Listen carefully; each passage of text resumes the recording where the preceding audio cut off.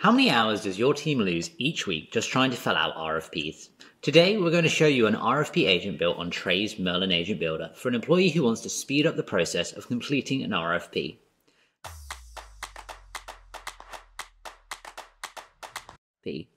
Now, RFPs typically ask for a wide variety of information about your organization, especially technical knowledge, and so having a good grounding of knowledge is super important. So let's take a look at this agent in action. Now my agent here has been configured firstly with an overall agent scope. So these are kind of the overarching instructions and guidance that I've given the agent. It's also easily able for me to configure the model down here so I can tweak this around as necessary and use different models if I so wish. But most importantly, my agent also has access to a set of agent tools. Now, most of the tools here for this RFP agent are going to be grounded in knowledge. So I've ingested in things like our CAIQ document, previous RFPs, because of course there's a wealth of information that exists within those.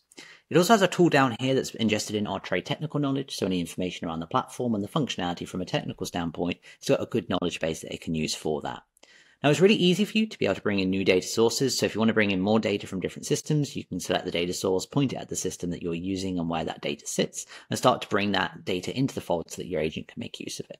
Now, of course, knowledge is just one part of an agent. Where a lot of the power starts to come in is when your agent is able to take action as well. So in the case of an RFP, that might be incorporating in human in the loop, maybe cross-checking and pulling information from other systems, or going ahead and maybe creating a ticket for us so that our team can manually review certain questions assigned to them and have visibility that they need to do so.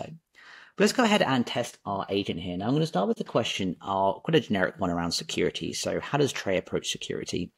Now, of course, I'm testing the agent here in isolation with individual questions, which might be a scenario where if you might have one or two questions, you can ask the questions directly. But I'll also show you in a moment how this agent can ingest in and you know, process a whole RFP document as well. But let's take a look at this question. Let's take a look to see what the response comes back with, and we'll take a look at the format and the information that it's going to pull from to actually come back with a suitable response to quite a generic question.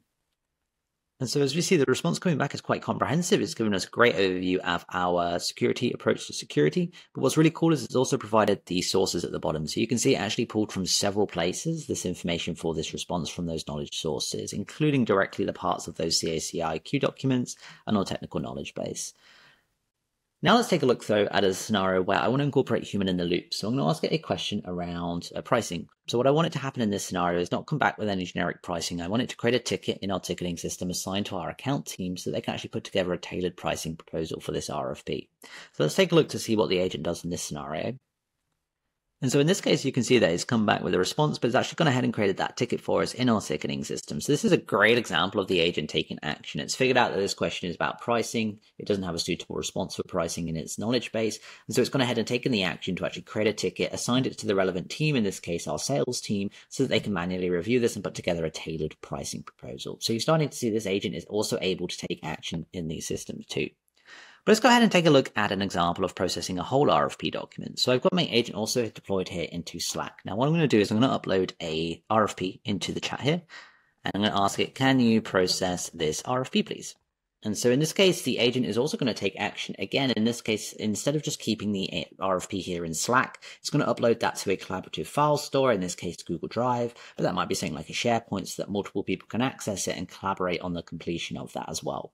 So you can see it's taken that action and actually provided us a link directly to that RFP that's been uploaded. And what we will see is the questions over on the left-hand side for what this RFP includes. And we should see the responses coming through in just a moment because our agent's going to go ahead and process that sequentially with that information in.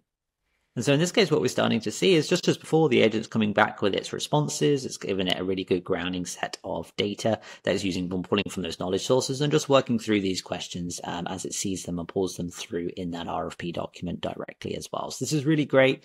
Of course, this is much more applicable maybe to completing a whole RFP, which is awesome. And it will go through in exactly the same way by looking at the question, looking at its knowledge base, can it provide that response? And of course, if it needs to bring that human in the loop into that scenario if required as well as it kind of does go through and sequentially processes it.